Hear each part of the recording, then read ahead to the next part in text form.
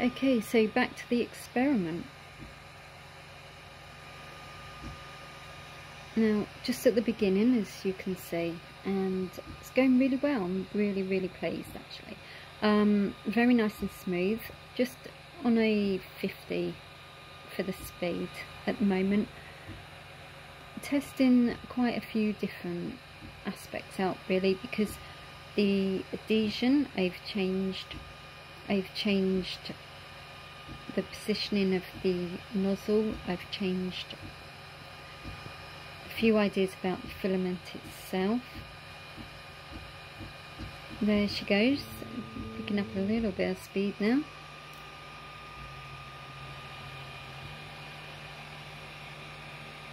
And when these go right it really is poetry in motion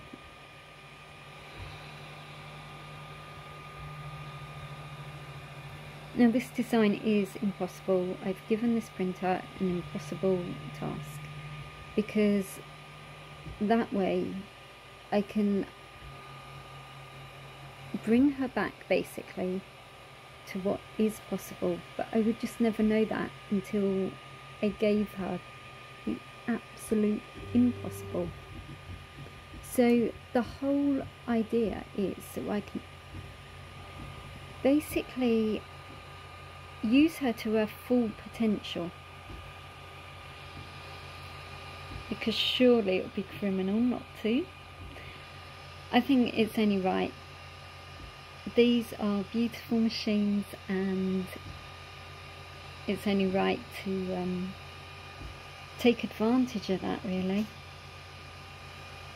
And it does mean a lot of experimentation first to get something magnificent, which I know these machines are capable of.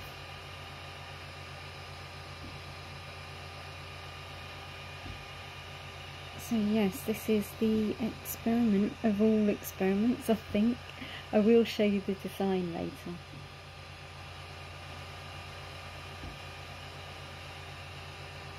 I think everyone would pass out in disbelief and shock if I showed them now. So I just want to see how far we can go with it.